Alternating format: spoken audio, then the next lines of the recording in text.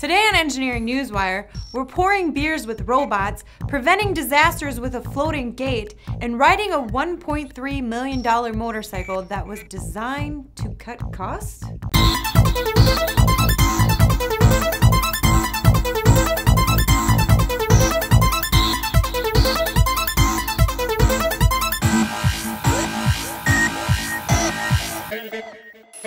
Honda is set to unveil a new production model of motorcycles by the end of 2013, and they only cost $1.3 million each. You know, chump change. The RC213V 1000cc V4 will have a level of power that will make it competitive in the 2014 FIM Road Racing World Championship Grand Prix MotoGP class.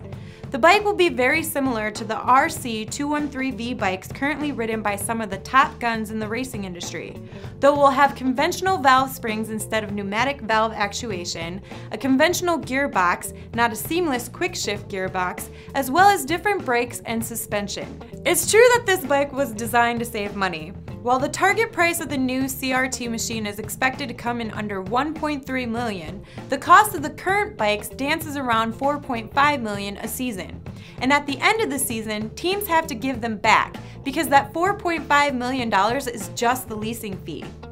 At least with these production machines, you'll have something to show for your money at the end of the season. You know, besides your many trophies, because you actually get to keep them, which is great, if you don't end up crashing during a race.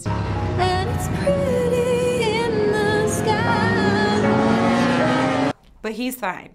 Here's your $1.3 million pile of junk. Researchers at Cornell's Personal Robotics Lab have created a robot that can predict human action in order to step in and offer a helping hand.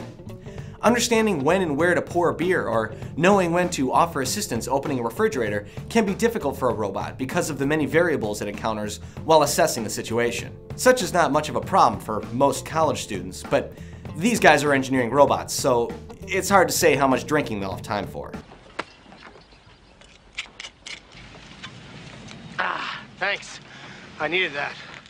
Using a Microsoft Kinect 3D camera and a database of 3D videos, the robot identifies the activities it sees, considers what uses are possible with the objects in the scene, and determines how those uses fit with the activities. It then generates a set of possible continuations into the future, such as eating, drinking, cleaning, or putting away and finally chooses the most probable. In tests, the robot made correct predictions 82% of the time when looking one second into the future, 71% correct for 3 seconds, and 57% correct for 10 seconds. Right now, the researchers are almost hard coding the responses with algorithms, but future research promises a way for the robot to learn how to respond to unpredictable human behavior.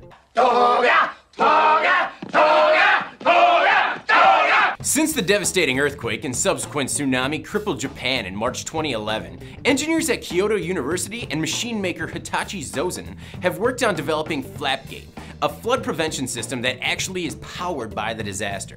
It takes human error and fatalities out of the equation and neutralizes problems typically caused by power outages. Flapgate is installed into sea walls to block tsunami and tidal waves. It can also be used at building entrances to prevent flooding from torrential rain.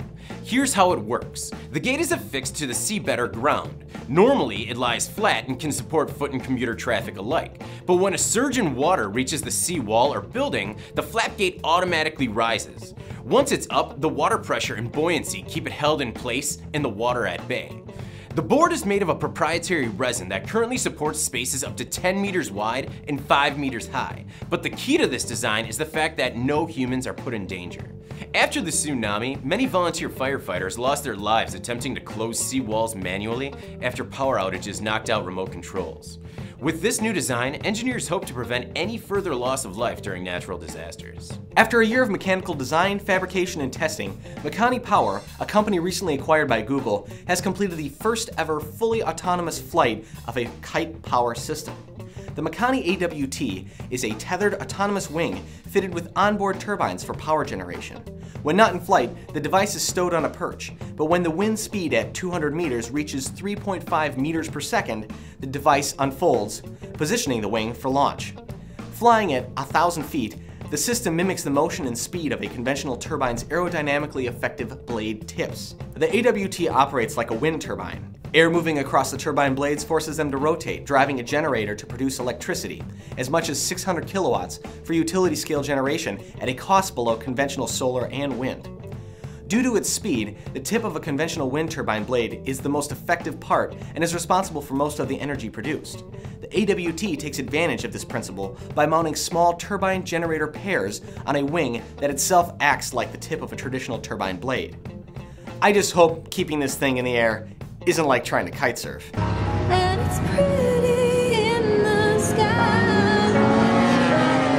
But he's fine. Do you have story ideas? Comment below and we'll cover them in an upcoming episode. For PD&D TV, I'm Megan Zimba and this has been your Engineering Newswire.